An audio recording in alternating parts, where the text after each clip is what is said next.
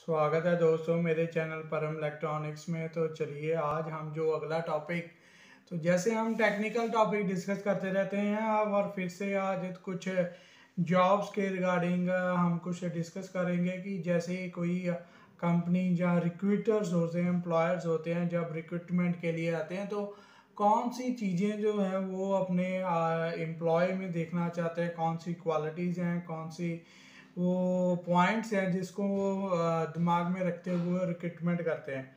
तो ऐसे में काफ़ी चीज़ सर्वे करने के बाद, जो सिक्स क्वालिटीज़ हैं, मैंने ढूंढी हैं, जो इंडियन रिक्रूटर्स जो कि सर्च करते हैं रिक्रूटमेंट में तो ये सिक्स क्वालिटी हर कोई रिक्रूटमेंट में जो एम्प्लॉयर होता है, अपने कैंडिडेट में देखना चाहता है तो एक एक करके हम डिस्कस करते हैं। तो सबसे पहले जो है that is a computer literacy so so, जो कंप्यूटर लिटरेसी है आज की डेट में देखिए हर कोई चीज़ जो है कंप्यूटर से होती है। पहले के जो आज से दस बीस साल पहले मैनुअली कई चीज़ें होती थी किसी चीज़ की एनालिसिस होती थी तो वैसे वर्क करते थे।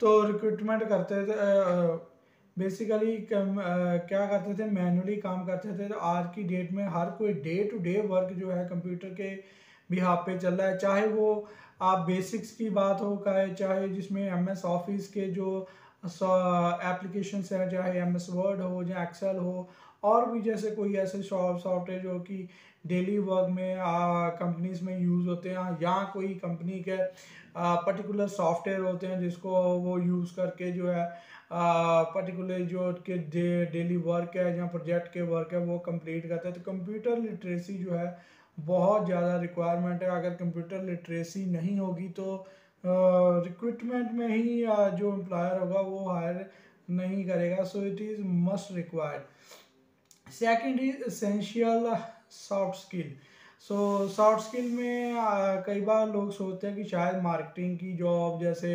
रिक्वायर रहती हैं सॉफ्ट स्किल सॉफ्ट स्किल देखिए, हर किसी जॉब रोल में रिक्वायरमेंट रहती है। चाहे वो इंटरपर्सनल स्किल्स हो चाहे कंपनी की तरफ़ आपकी ऑनेस्टी लॉयलिटी तो जैसे आप रिक्रूटमेंट के लिए जाते हैं तो वो रिक्वायर्ड करते हैं कि पर्टिकुलर पर्सन ऐसी क्वेश्चनिंग होती है कि वो कितना जैसे अपने प्रति भी कितना वो लॉयल है या कंपनी के प्रति वो लॉयल होगा कि नहीं। सो so, ऐसी क्वालिटी जो है रिक्वायर्ड रहती हैं कि एक good honest and loyal person जो होना चाहिए और इन कंपनी को अगर मुसीबत टाइम में वो एक सोल्यूशन प्रोवाइड करके दे कंपनी को और उस मुसीबत से निकाल सके। थर्ड इज़ क्रिएटिव आइडिया देखिए जी, अगर creativity is a very much useful tool to compete in the today's world so आज की डेट में जो टूडेज वर्ल्ड है, आपको पता ही है, हर फ़ील्ड में चले जाइए। हर कोई कंपटीटर आपको मार्केट में मिलेगा तो वही टिकेगा जो अपनी क्रिएटिव आइडिया इनोवेटिव आइडियाज़ जो है वो लेकर आएगा। तो a particular person should be free to share his view in the meetings group discussion अगर कोई मार्केटिंग uh, या सेल्स की जो है टारगेट्स है उसको अचीव करना है तो वो with the help of creative ideas innovative ideas उसके पास होने चाहिए। Then fourth one is proper experience so देखिए ये आ, ये पॉइंट जो है कई बार स्टूडेंट कहते हैं कि जैसे हम फ्रेशर हैं तो हम हमें कई बार किसी चीज़ का एक्सपीरियंस तो है नहीं। तो इसके लिए ये पॉइंट आता है कि जैसे आप कोई प्रोफेशनल डिग्री चाहे बीटेक हो या एमबीए हो या कोई होटल मैनेजमेंट कई ऐसे प्रोफेशनल कोर्सेज है जहाँ पर आपके सेमेस्टर के दौरान और सेमेस्टर का अगला सेमेस्टर जब स्टार्ट होता है, उसके बीच कुछ टाइम बचता है, जहाँ आपके करिकुलर में कुछ ट्रेनिंग्स होती हैं, जिसमें आप इंडस्ट्री का एक्सपीरियंस ले सकते हो, जहाँ कहीं इंटर्नशिप लगवा सकते हो। और वहाँ पर जैसे आप इंटर्नशिप के लिए जाते हो तो आपको वहाँ पर एक्सपीरियंस मिल जाता है। तो उस एक्सपीरियंस को भी फ्रेशर यूज़ कर सकते हैं। और देखिए, हर कोई एम्प्लॉयर कहता है कि उसके पास अगर पर्टिकुलर फ़ील्ड में किसी को हायर कर रहा है अगर वो एक्सपीरियंस पर्सन होगा तो अगेन कम्पिटिटिव वर्ल्ड में जो वो है, अच्छी पकड़ बना पाएँगे अपने चाहे सर्विस की बात हो प्रोडक्ट की बात हो, वो वो अच्छा परफॉर्म कर पाएँगे।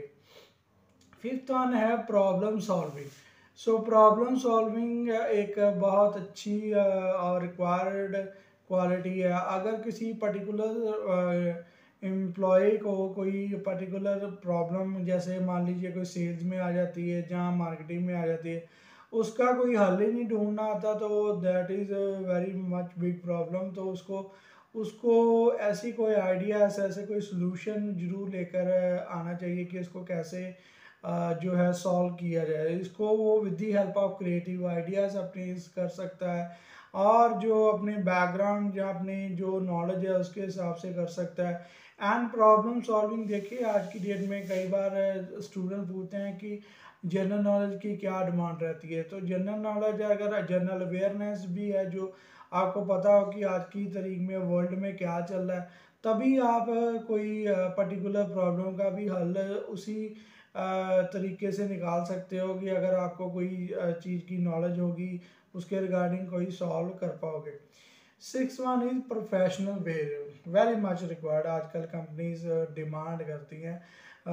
ज़्यादातर बच्चे जो है कैजुअल बिहेवियर में रहते हैं। उनको लगता है कि शायद मॉडर्न जो आज के डेट हैं, उसमें ऐसी कोई चीज़ नहीं नहीं फिर भी अगर जैसे आप कहीं कोई कंपनी में अपर लेवल में या लोअर लेवल में कहीं कोई प्रोजेक्ट के रिगार्डिंग इंफॉर्मेशन चाहते हैं मेल के थ्रू होती है, वो मेल लिखना आना चाहिए मेल प्रॉपर तरीके से जो प्रोफेशनल एथिक्स होते हैं, वो आपको ज़रूर अपने काम में आपके होने चाहिए, आपकी चाहे ड्रेस के रिगार्डिंग हो आप क्या पहनते, कैसे बिहेव करते, कैसे बात करते टेलीफोनिकली या आप मैसेज के थ्रू या कम्युनिकेट जो जो भी है कहीं आप किसी प्रोजेक्ट आपको सेंड किया, आपको जहाँ मेंबर हो, जहाँ लीडर हो, आपके प्रोफेशनल बिहेवियर बहुत मायने रखता है।